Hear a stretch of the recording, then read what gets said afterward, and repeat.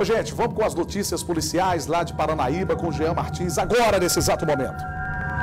Olá, boa tarde, Juninho. Boa tarde, você que nos acompanha aqui em Paranaíba. A mulher faz programa, não recebe e ainda é agredida com socos. Segundo o boletim de ocorrência registrado na primeira delegacia de polícia, a vítima, uma mulher de 46 anos, compareceu à unidade policial relatando que reside aos fundos de um bar. Segundo ela, se prostitui frequentemente no local sendo que na data do último dia 1 fez programa com o autor, um homem de 39 anos, por indicação da proprietária do estabelecimento. E logo após o programa, o autor recusou-se a pagar pelos serviços e ainda agrediu a vítima com socos. Segundo a mulher, a dona do bar teria presenciado toda a cena e não interferiu, somente ficou sorrindo sem parar durante as agressões. Diante dos fatos, ela procurou a delegacia para registrar o boletim de ocorrência.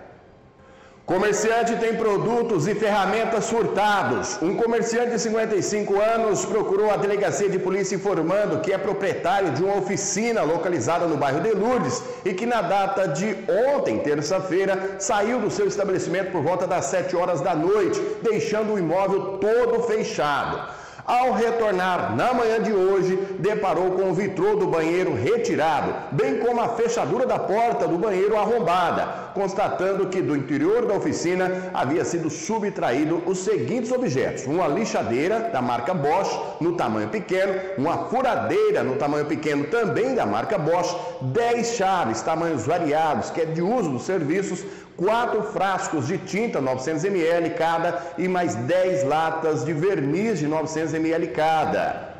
Diante dessa situação aí, ele acionou a polícia, procurou a delegacia para registrar os fatos e agora os policiais já estão na busca e investigando os possíveis autores desse furto.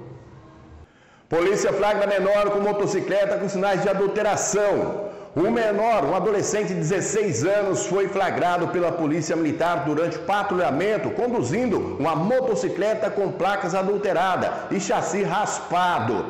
Segundo as informações do boletim de ocorrência, uma equipe da Polícia Militar realizava patrulhamento de rotina pela Avenida Durval Rodrigues Lopes, momento em que visualizaram uma motocicleta Honda Bis de cor preta, a qual estava sem retrovisor. Diante disso, foi realizada a abordagem do veículo e, ao solicitarem os documentos de porte obrigatório ao condutor, este relatou que não possuía carteira nacional de habilitação, pois era menor de idade, e também não portava documentos do veículo. E ao fazer a checagem através do sistema da polícia, o SIGO, os policiais constataram que a placa EFM 1797 estava registrada em uma outra moto, sendo uma Track 110 com, do município de Araçatuba, São Paulo. Diante, dando sequência aí à checagem, ao verificar o chassi, constataram que o mesmo encontrava-se com a numeração parcialmente raspada. Diante dos fatos, o adolescente de 16 anos e juntamente com a motocicleta foram encaminhados à delegacia de polícia civil para maiores esclarecimentos. Onde também estiveram os pais do menor e após assumir responsabilidade ali de compromisso em audiência, foram liberados.